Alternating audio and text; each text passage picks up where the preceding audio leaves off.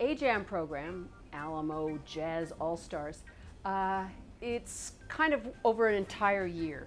Um, the, in the fall, students prepare for an audition, which they have an outside panel of judges. The outside panel picks a combo of five people, which form a, a quintet.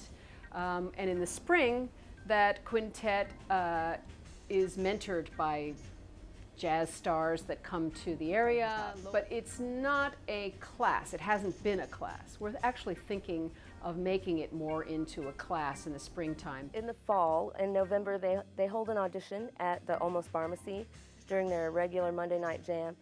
Uh, you come there, you audition, and there are judges. They pick five people, and those five people are in a quintet. It's an amazing opportunity because they're having one-on-ones with great jazz musicians like Geri Allen, the pianist Geri Allen, like David Liebman, who is the artistic director of the International Association of Schools for Jazz and kind of the artistic uh, leader of our program because we feed into this IASJ uh, international group, like uh, Lionel Loueke from uh, West Africa who came in and did a, a one, one-on-one with them, like uh, Nicholas Payton, uh, like, you know, all of the people that have been mentoring them.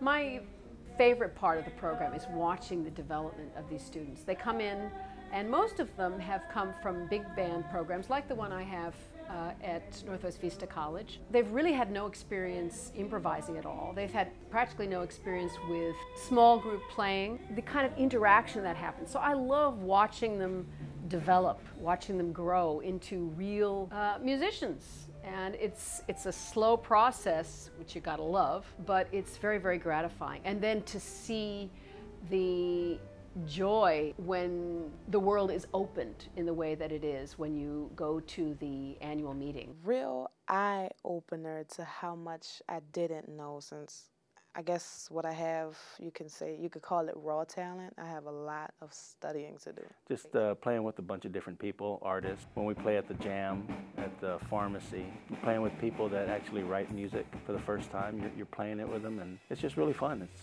it's a lot of it's a lot of fun in this program. I really like it. The program is it's a mentorship program where we hook up with some like really awesome jazz musicians. Like really really professional. Been playing for 25 years. You know, just jazz. And but my favorite part honestly was playing with the the band, interacting with the band. I mean that's it. You know, because the jazz music the, these all uh, the the masters they show up for like an hour, and then it's over. They're gone. You know, and and you're like okay cool. You know I'll, I'll take these notes. But ultimately, it's like the group interaction that's the, the best part. Watching Lionel Loueke, like, he would, uh, he would talk about things I didn't even really think about. How you could squeeze certain, you don't have to always just stick in the 4-4. You can squeeze a little 6-8 in. He's like, I'm not the drummer, but I will show you this. And he was banging it out on the drums, you know, and like he was, he was really good. And then um, Geri Allen, when she when we were at Trinity University, she got a bunch of little kids to improvise, and like I'm 22 years old, and like you know all the other guys they're all grown ups, and we we were all somehow Geri Allen got us to sound pretty good, you know. Like it was just a mixture of people, and uh, that was my favorite part. How Geri Allen could bring, you know, some little six-year-old kid with a cello, you know, to play something on like with me. I, I thought that was pretty cool.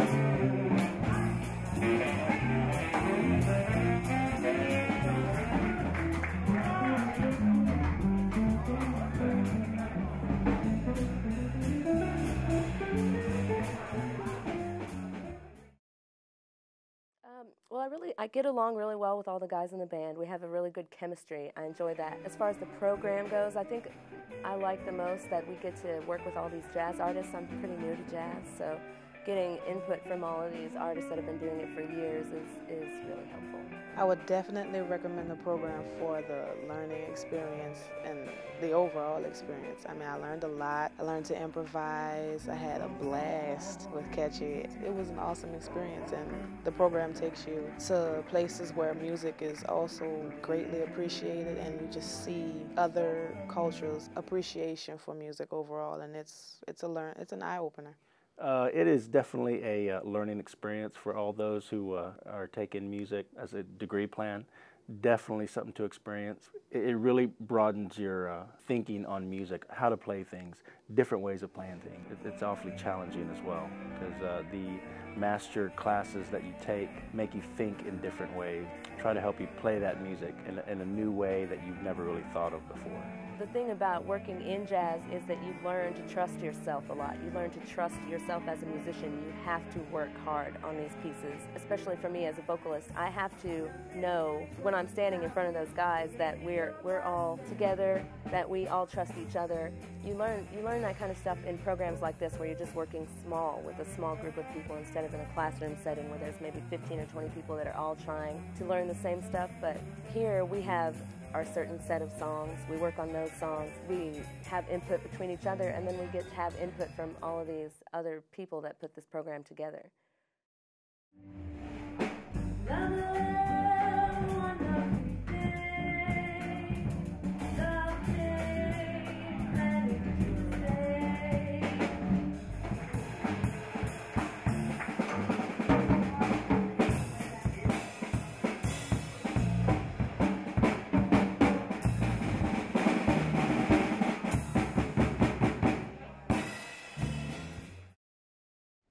About jazz is it's a language which is spoken all over the world. It's one of America's, uh, I think Phil Woods called it Ameri African America's great gift to the world.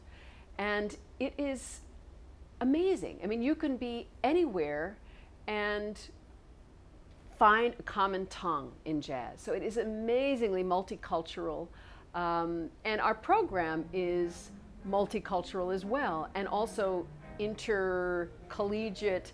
It's just, it's a language that can be spoken anywhere once you learn it. And there's so many ways you can deal with it to make it different, incorporate local things, but still there's this common, common improvisational language and it's, it's one of the most multicultural, international, global experiences you can have in, in music it's an opportunity to grow as a musician um, and as a person. No, no, uh, but no, as definitely as a musician. And you know, you, you do.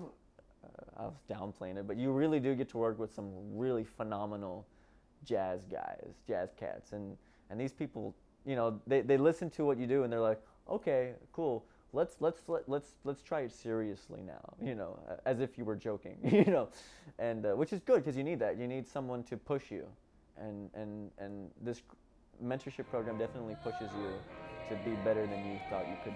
The master classes were pretty intense. I mean, um, some some of these guys, uh, no, all of these guys know exactly what they're doing. I mean, they've been doing this for years. Um, they can hear a note and tell you it's wrong. I mean, they'll, they'll tell you what you need to work on. Uh, I forget what his name was. Um, he's actually one of the teachers at SAC. A, no, no, not SAC, uh, Palo Alto. And he told me straight up, it's like, yeah, you, you don't have confidence. You, you, you know, your bass playing, because at the time I was really shy. I'm like, I can't do this. And he's like, you just need to, you just need to like step up and, you know, participate, you know. In oh so many words, he said that, you know. So uh, I really took that to heart. And so now I play like, like I'm a rock, like I'm a rock, well, I can't say God, but uh, a rock idol. When I, I play bass, I'm like, okay, if y'all are gonna sit down and watch me, I might as well make it worth your while. You know, I mean, yeah, the music should be good, but you know, it's a show, so you know, I'm gonna dance a little bit.